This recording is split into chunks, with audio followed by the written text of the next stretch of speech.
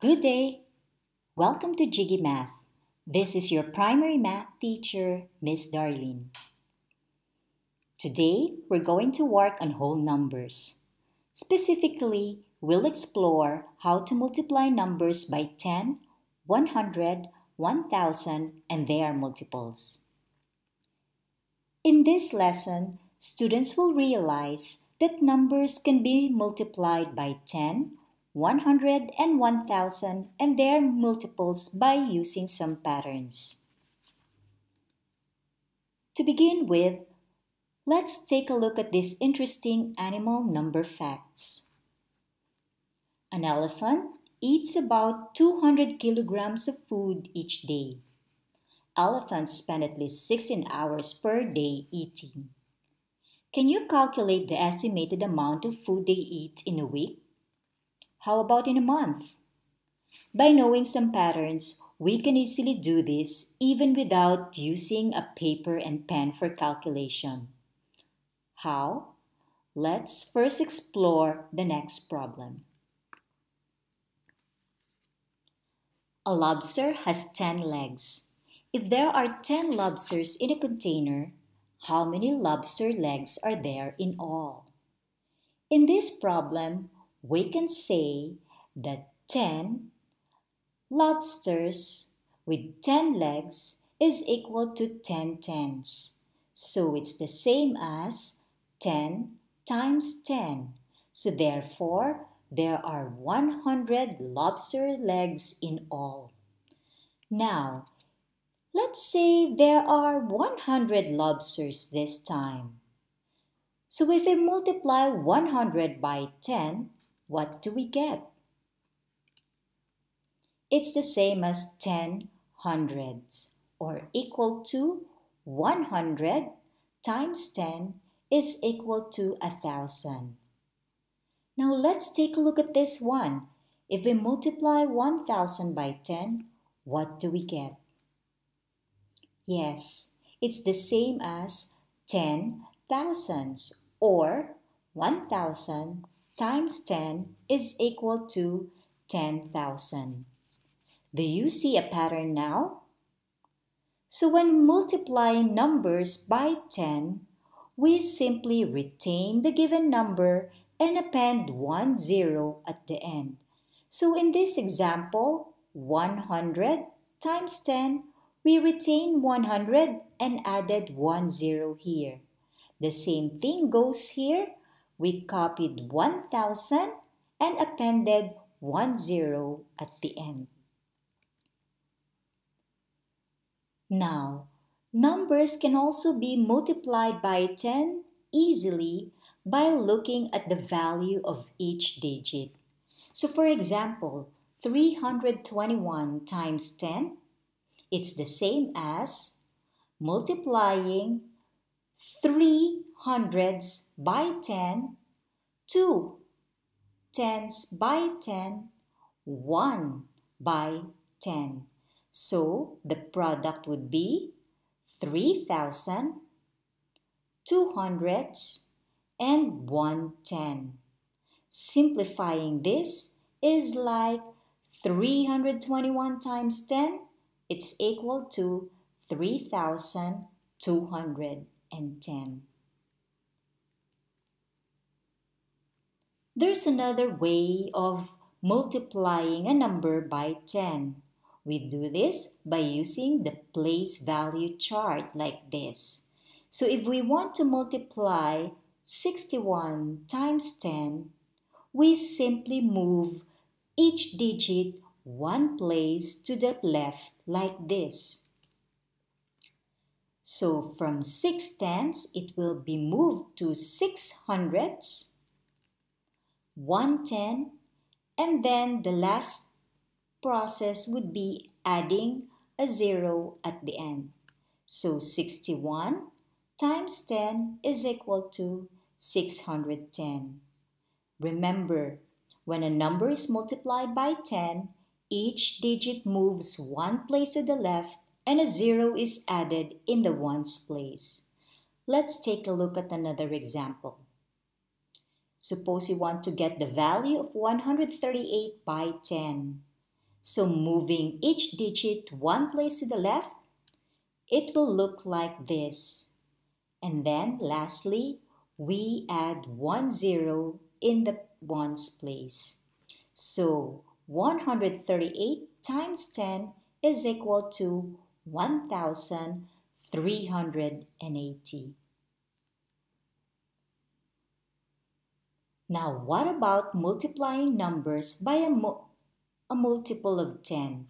For example, 42 times 40. This can be done by breaking the numbers apart. So, it's the same as 42 times 4 times 10. This is how we broke down 40 by writing 4 times 10. So the next step would be multiplying 42 times 4. It will be equal to 168 and then multiply it again by 10. The final answer would be 1680. Second example, 137 times 30. Again, let's break this number apart by writing 3 times 10. So getting the product of these two numbers would be 411 times 10. The final answer is 4,110. Next example. Let's get the product of 282 times 60. Again, we'll use the same strategy. You break the number apart to help you multiply by tens. So here, we'll write 282 times 6 times 10. And then, get the product of these two numbers and multiply it by 10. And the answer would be 16,920. Lastly, let's multiply 3052 by 20. So breaking down 20, it will become 2 times 10. So let's get a product of these two numbers. We'll have 6,104 times 10 and the answer is 61,040. Now, let's do the shorter way. So if we want to get the product of these two numbers, 55 times 70, first you may just simply disregard the zero first and focus on multiplying 55 by 7 and then append the zero at the end. So 55 times 70 would be 3,850. Next example. Disregard the zero first. Multiply 100 times 9 and then you will get 654 plus 0 would be 6,540. And the last example is the same um, procedure like the um, what we did here.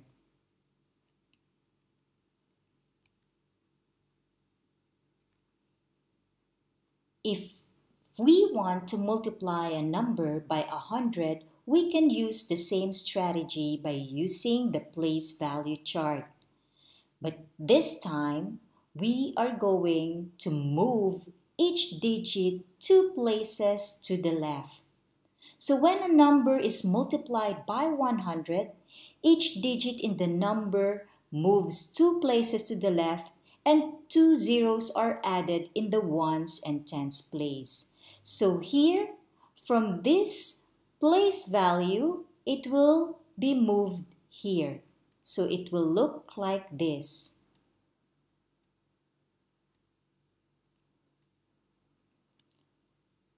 So the product of 538 and 100 is equal to 53,800. So the same step will be used if we want to multiply 206 by 1000.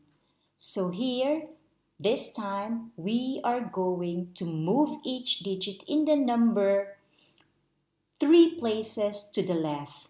And then, three zeros are added in the ones, tens, and hundreds places. So the final answer would be 206,000.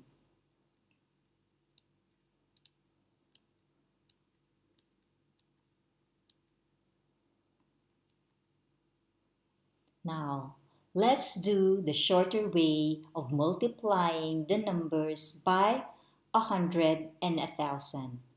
First one, 361 times 100 is 36,100. If you notice, we retained the given number and appended two zeros, since we have two zeros here. Next, 8,102 multiplied by 100 will give you 810,200. Third example, 637 times 1,000. We retain 637 and append three zeros at the end. So the final answer would be 637,000. And the last one, 1,124 times 1,000 will give us 1,124,000. So to multiply a number by 100 or 1,000, add zeros at the end of the number.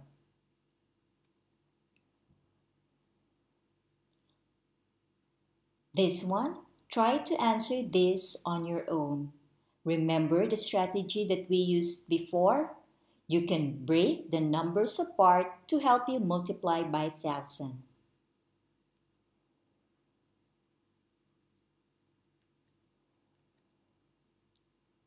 Did you get the same answer as mine? Try answering the second example. 1022 times 7000. Again, don't forget to break this number apart by writing 7 times a thousand.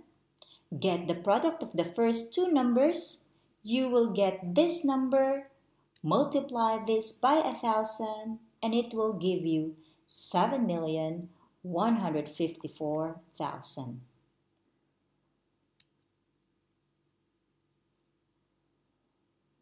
Now, do the shorter way of multiplying these numbers. Disregard the two zeros first and focus on multiplying 822 times 7 and then append the two zeros at the end.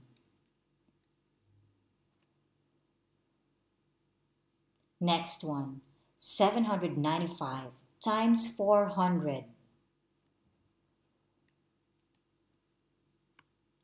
So if you get the product of 795 and 4, it's actually 3,180. And then we add two zeros at the end. So therefore, the final answer would be 318,000. And lastly, we have 2,037 times 2,000. It will give us 4 million and 74,000. So remember, you can break numbers apart to help you multiply by hundreds or thousands.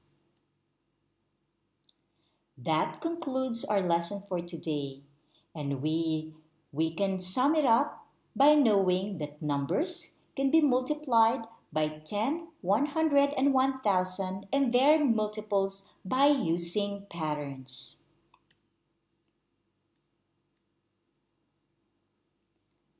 Thank you and have a good day.